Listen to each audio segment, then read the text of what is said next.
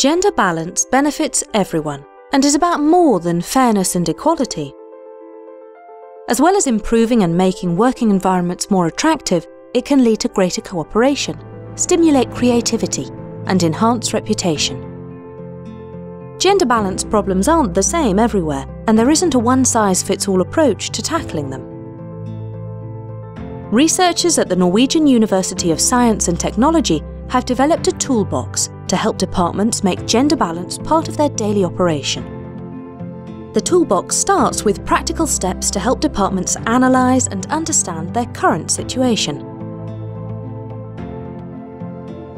It then offers pragmatic advice on the development and implementation of a feasible gender balance strategy. The toolbox provides examples to help departments set clear, realistic and measurable goals. It also suggests different measures for the different problems departments may have.